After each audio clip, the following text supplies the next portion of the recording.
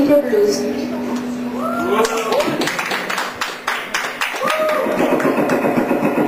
Si chiaro, aspetta, vai.